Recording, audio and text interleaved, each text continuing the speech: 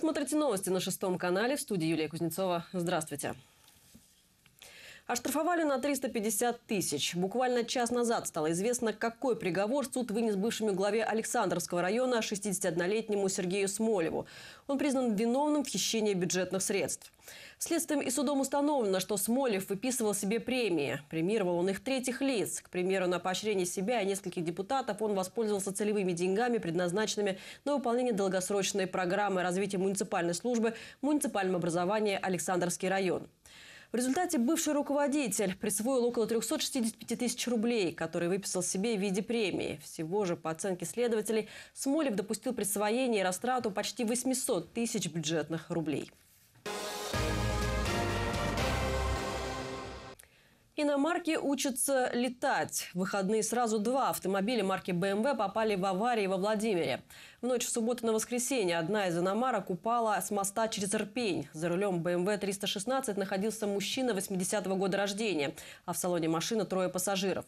Машина пробила ограждение на мосту и опрокинулась в кювет. По предварительным данным, авария произошла из-за несоответствия скорости BMW конкретным дорожным условиям. В результате водителя один из пассажиров были госпитализированы с многочисленными травмами. Остальные проходят лечение амбулаторно. Информацию о том, был ли пьян мужчина за рулем, ГИБДД пока не сообщают. Еще одна авария с БМВ 525 модели произошла в субботу вечером на дамбе в Загородной. Владимирец 89 -го года рождения не справился с управлением и врезался в отбойник. В пояснили, что признаков алкогольного опьянения у водителя не было. Сам же мужчина в соцсетях написал, что его подрезал внедорожник. Из-за этого он и не справился с управлением нарушил правила маневрирования, в результате чего совершил э, столкновение с металлическими ограждениями. А в результате данного дорожно-транспортного происшествия пассажирка автомашины BMW 99 -го года рождения получила телесные повреждения. Ей была также оказана медицинская помощь на месте, э, после чего она была отпущена домой. Притеснение малого бизнеса или бюрократическая проволочка. С удобного для пенсионеров и инвалидов места могут убрать старейшую в городе часовую мастерскую. Куда ее хотят переселить и кому она могла помешать? В ситуации разбирался Александр Инин. Большая стрелка падает, когда вот сверху и отстают. Этой часовой мастерской уже больше 60 лет, и все это время она на одном месте в торговых рядах. Другой такой, пожалуй, не осталось во всей области. Часы сюда можно принести какие угодно. Будильники, наручные, настенные, старинные. Мастера быстро найдут причину поломки и починят за смешные по сегодняшним меркам деньги. Вот эти часы перед Днем Победы привезли из Радужного. Это привезенные с войны часы, видимо, у них э, из родственника привез их из Германии.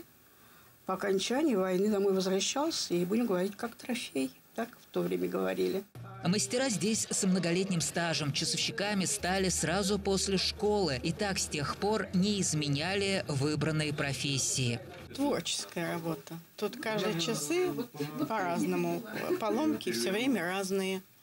И поэтому интересно, вот принесли тебе лом, а ты они на ходу.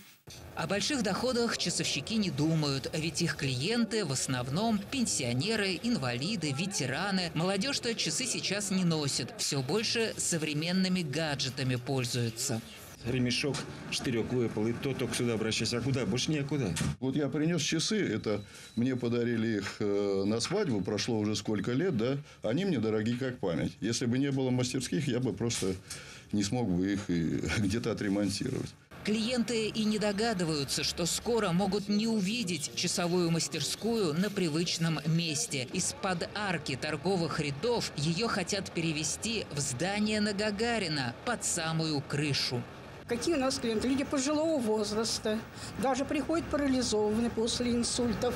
Если мастерская сменит адрес, многие клиенты просто не смогут до нее добраться по этой крутой лестнице. А переезд возможен потому, что истек срок аренды помещения подаркой. И по идее балансодержатель, департамент земельных и имущественных отношений должен выставить его на торги. Но площадь помещения меньше 20 квадратов. И в этом случае по закону о защите конкуренции площадь может остаться за часовой мастерской без проведения торгов. И вот уже целый год идет переписка переписка, чтобы социально ориентированное предприятие оставили на том месте, где оно сейчас. Хозяйка мастерской пишет чиновникам, чиновники ей и друг другу. В итоге, по словам часовщиков, помещение все-таки выставили на торги. По бумагам Департамент имущественных и земельных отношений во главе с вице-губернатором Еленой Мазанько против часовщиков ничего не имеет. И именно этот департамент должен согласовать с ФАС вопрос о том, чтобы часовщики и дальше работали там, где работают сейчас. А за мастерскую почему-то хлопочет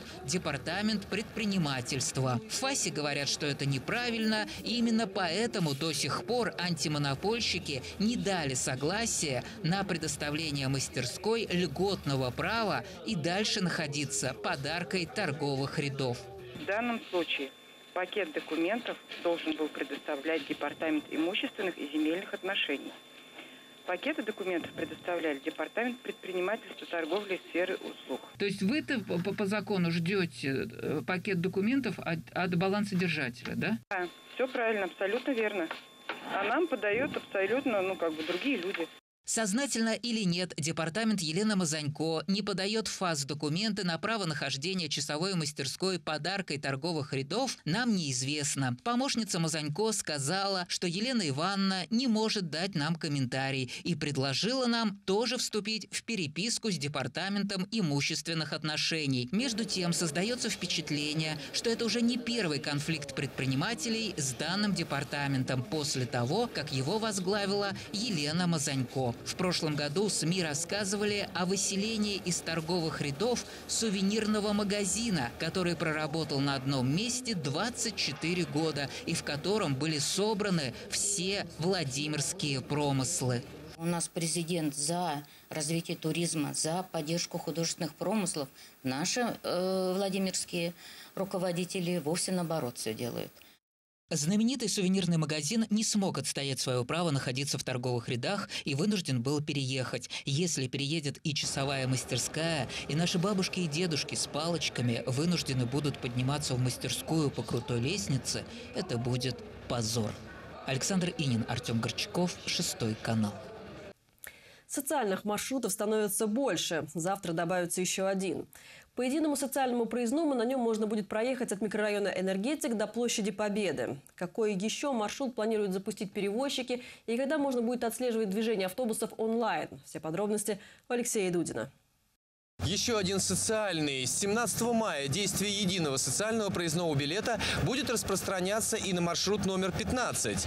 Такой подарок на лето жителям энергетика сделали в компании АДМ. В этот микрорайон ходят автобусы двух маршрутов – 21С и 15.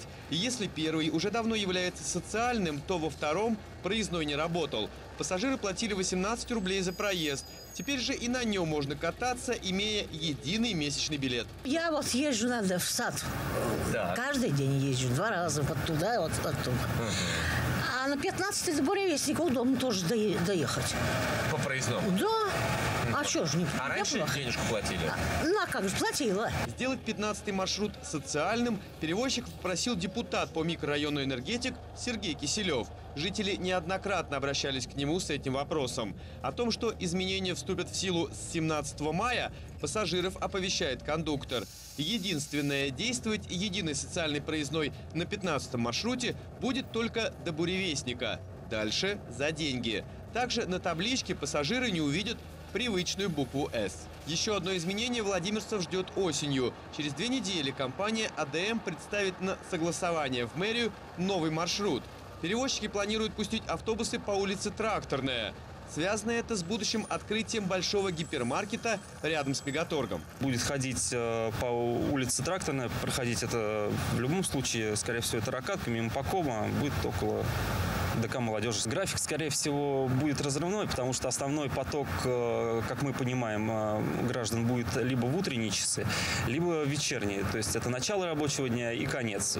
Сейчас на автобусе добираюсь, и потом вот пешочком иду сколько тут, километр-полтора. Будет удобнее добираться, приехал и все. Вполне удобно, если будет от Педа ходить какой-нибудь автобус. Также в скором времени за передвижением автобусов можно будет следить и в интернете. Сейчас разрабатывается специальное приложение. Принцип действия прост. Данные о местонахождении автобуса передаются на спутник с помощью системы ГЛОНАСС, уже установленной в общественном транспорте. Пассажир сможет видеть передвижение автобусов на линии, на маршруте. Это, я думаю, это будет очень удобно для пассажира. Можно всегда открыть телефон, э, не стоять какое-то время определенно на остановке, подходить, э, рассчитывать свое время и подходить э, к своему транспорту. В приоритете остается и работа с ветеранами. В автобусах на маршрутах, которые обслуживает компания АДМ, участники войны, труженики тыла, инвалиды, узники концлагерей и сопровождающие их лица могут ездить абсолютно бесплатно. Алексей Дудин, Александр Мажаров, Шестой канал. Прямо сейчас коротко еще о некоторых значимых событиях этого дня. Более 7 тысяч должников могут остаться без газа. Им отправлены соответствующие уведомления. Задолжало население 123 миллиона рублей. Региональный «Газпром» рекомендует гражданам расплатиться по счетам как можно скорее. В будущем году платить придется больше. С должника возьмут не только сам долг, но и стоимость работ по отключению придется оплатить. На погашение долга у жителей региона есть три месяца после отключения. Если этого не произойдет, «Газпрому» придется обратиться в суд. К слову, в прошлом году от газоснабжения были отключены 1670 75 потребителей. Медаль ордена за заслуги перед Отечеством. Такой награды удостоен сити-менеджер Владимира Андрей Шохин. Медаль он получит из рук президента России. Само награждение будет сопровождаться формулировкой «за достигнутые трудовые успехи и многолетнюю добросовестную работу». Учреждена медаль в 1994 году, а выполнена она из серебра. На лицевой стороне изображен знак ордена за заслуги перед Отечеством, а на обороте девиз «Польза, честь и слава». Своим указом Путин отметил и тренера Владимирской школы самбо Ивана Стахеева. Ему присвоено звание звание заслуженного работника физической культуры. Долгожителей региона поздравит президент. Персональные пожелания от главы государства получат 155 пенсионеров. В мае они отметят 90, 95 и 100-летний юбилей. Причем представительниц прекрасного пола среди долгожителей большинство, их 125 человек. А больше всего долгожителей проживает во Владимире, Муроме, Коврове, Александрове и Гусь-Хрустальном.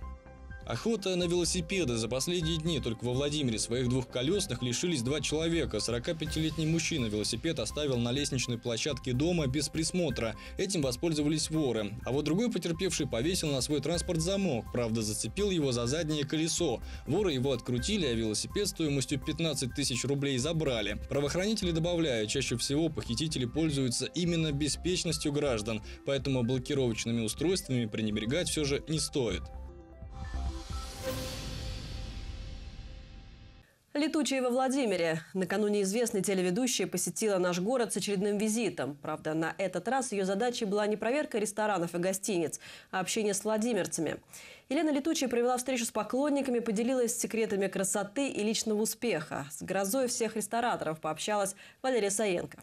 Когда на вас, на вас начинают кричать, а, моя реакция такая – я начинала улыбаться. Я говорила, зачем вы кричите? Я всегда всем советую, если вдруг а, на вас кричат, если вдруг ну, вообще какая-то агрессия идет от людей, вы улыбайтесь. А, на самом деле всех раздражает. Профессиональные тайны, секреты красоты и первые шаги в телевизионной карьере. Мастер-класс «Личный рост и роль современной женщины» Елена Летучая проводит на собственном примере в модном салоне красоты Чезаре Понти. Главный посыл аудитории – никогда не бойтесь изменений. Сама она ради призрачной работы на телевидении бросила карьеру финансиста. Теперь понятно – не прогадала. Поклонники довольны. Я ну, ждала узнать что-то о ней новое, откровенное, какие-то подробности жизни, подробности успеха, и я получила то, что хотела. Мне очень понравилась атмосфера в Чезаре Понте. Я здесь первый раз, и я чувствую прям море восторга. Встреча с поклонниками стала возможна благодаря салону красоты Чезаре Понти. Мастер-классы со знаменитостями здесь устраивают уже не первый раз. В качестве гостей тут уже побывали стилисты Владислав Лисовец и Александр Рогов. А вот Елена Летучая может научить женщин не только хорошо выглядеть, но и добиться успеха в жизни. Такой комплексный подход к личности для салона красоты – прорыв. Мы хотим видеть Чезаре Понти не просто современным салоном красоты, а модным местом, где встречаются люди, идеи, разные события.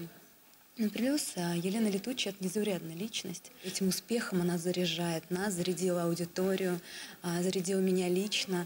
А, я думаю, что каждый из нас что-то подчерпнул из истории ее жизни. Сама Елена призналась, такая атмосфера на встречах складывается не всегда. Звезда даже разоткровенничалась, так ее покорили владимирцы. Но у летучей без проверки никуда. В салоне перед выступлением она провела ревизию. Это как-то не, не только салон. Вот э, здесь такая атмосфера, и э, я уверена, вот я была в кабинете, делала маникюр, мне было очень комфортно. Маникюр сделали очень хорошо, на пятерочку. А еще хочу сказать, чисто профессиональным взглядом, я это, меня это просто не отнять. Я посмотрела на э, продукции, на которые работают, и это одна из лучших продукций, в принципе. Валерия Саенко, Артем Горчаков, Шестой канал. Готов к труду и обороне. Во Владимире завтра пройдет масштабная акция по сдаче норм ГТО. Кто может получить значок отличника, зачем он нужен и как проверить свои силы? Об этом нам расскажет начальник городского управления физкультуры и спорта Алексей Колесников. Сегодня он гость студии Шестого канала. Алексей Иванович, здравствуйте. Здравствуйте. Итак, нормы ГТО у нас в Владимирской области, во Владимире, сдают уже третий год. Вот расскажите, пожалуйста, как все начиналось и сколько народу уже примерно а, проверили свои силы?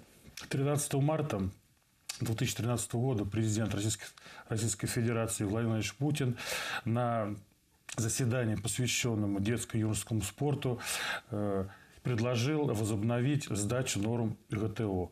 И в 2014 году уже Владимирская область в составе э, 12 регионов, как пилотный проект, э, начали сдавать нормы ГТО. И э, за 2014-2015 год у нас в городе Владимире э, сдали 1230 человек. Ну вот сразу, можно сразу Да, да. вопрос? Как вы оцениваете подготовку владимирцев, которые уже сдали? Что, какие результаты показывают? Вы знаете, Владимир спортивный город, но, к большому сожалению, э, очень часто я встречаюсь с подростками, с молодежью. Физическое э, воспитание, к большому сожалению, очень сильно хромает. И наша задача, вот, в том числе и с помощью ГТО, чтобы привлечь наибольшее количество молодежи к занятиям, систематическим занятиям. И чтобы значок, даже не обязательно золотой, может быть, бронзовый и серебряный, чтобы он был ценен и востребован в молодежном обществе.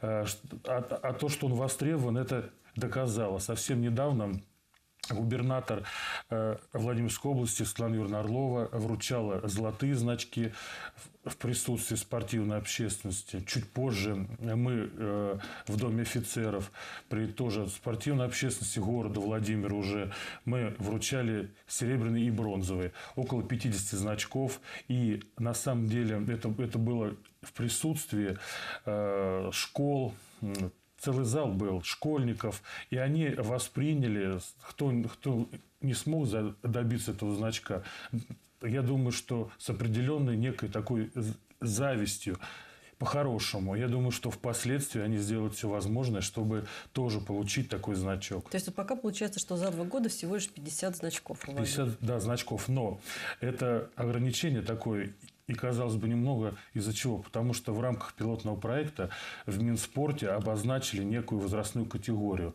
То есть, это э, там получалось с с 12 до 14 лет. То есть, э, э, мы принимали у всех, а вот именно официально, именно группа, возрастная группа 12-14 лет. Ну, выбрали как, как пилотный проект. А сейчас с этого года не только 12 регионов, но и все регионы Российской Федерации уже подключились к этому проекту. И э, э, на, на специально оборудованных площадках принимают эти нормы у, у всех, у всего населения, э, у, всех жителей областных центров и областей и регионов. Я знаю, в Владимире завтра пройдет масштабная акция по сдаче норм ГТО. Расскажите, пожалуйста, где она будет проходить, во сколько и кто может сдать нормы? У- нас э, впервые, э, то есть не только школьники, но, и- но и все возрастные категории. Завтра на стадионе «Лыбедь» в 17.00 э, мы, мы проводим эту акцию. Мы принимаем легкую атлетику, стрельбу, дальше подтягивания и силовые упражнения. Но я хочу повторить, только у тех жителей, которые э, зарегистрировались на сайте ГТО официально, это нетрудно. Насколько сложные нормы, возможно ли их сдать? Вот вы пробовали сдавать нормативы Да, ГТО? завтра мы в полном составе, э, я считаю, что будет большое количество муниципальных служащих, а управление физкультуры и спорта в полном составе. Завтра мы участвуем в сдаче. Ничего сложного нету. Я думаю, что каждый э, житель города может попробовать, прийти. И, в общем-то, я думаю, что результаты будут хорошие. Уже сейчас зарегистрировано на сайте 8 тысяч владимирцев. И я думаю, что все они, зарегистрировавшись, будут, будут принимать участие э, на наших площадках. В городе будет действовать пять площадок. Вы сказали, что вы хотите проверить свои силы всем управлением. То есть коллективные заявки вы тоже принимаете от организации? Да, и коллективные заявки, и отдельно, и по одному, и группами, и, как говорится, и парами, как угодно. Пользуясь случаем, я хочу всех жителей города Владимира пригласить на сдачу норм БТО. В течение лета будет несколько этапов. Заходите на сайт Управления физкультуры и спорта администрации города Владимира. Там все прописано, там все ясно, там все понятно. И зайдите на, на сайт Минспорта в раздел ГТО. Зарегистрируйтесь, приходите к нам. Мы всех вас с большим удовольствием ждем и надеемся, что вы к нам придете. Спасибо большое. Я напомню, только что мы беседовали с начальником управления физической культуры и спорта Алексеем Колесниковым.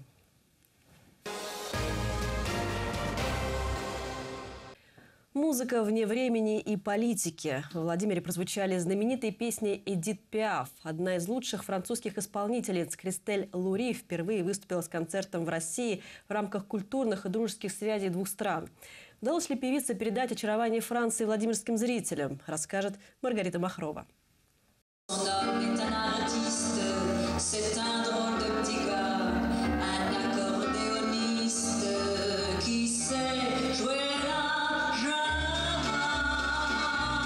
Аккордеонист – одна из первых песен Эдит Пиаф. Хрупкая маленькая певица ростом всего 147 сантиметров за свой стильный и страстный голос получила прозвище «Рычащий воробей». Она стала одним из символов Франции 20 века. Для певицы Кристель Лури песни Эдит Пиаф – это больше, чем искусство. На создание музыкального моноспектакля о жизни и творчестве великой француженки Кристель отважилась в 2012 году. С программой посвящения Эдит Пиаф она впервые приехала в Россию.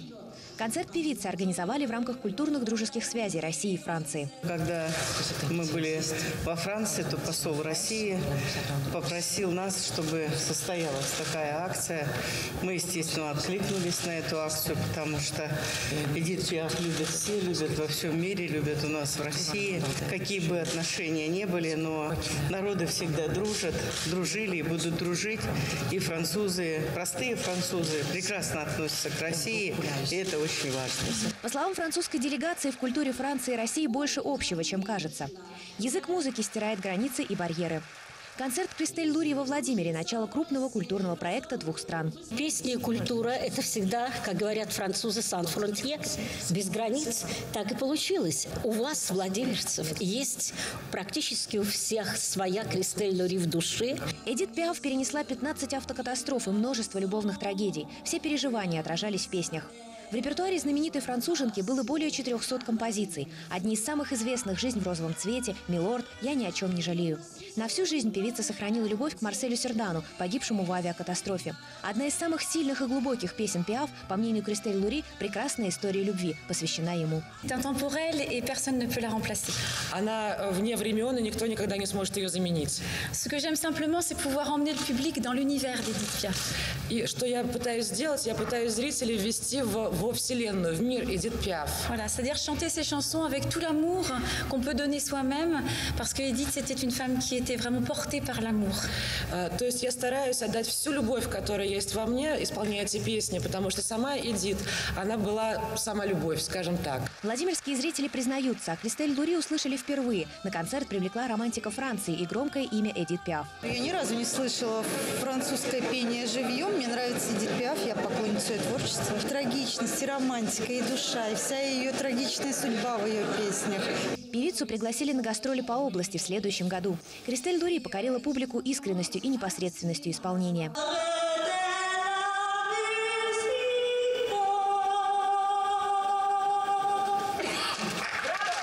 Маргарита Махрова, Константин Миронов, Шестой канал. Это все, о чем вам успели сегодня рассказать. Впереди еще немного полезной информации. Прогноз погоды. Спасибо, что провели это время с нами. Всего доброго и до встречи.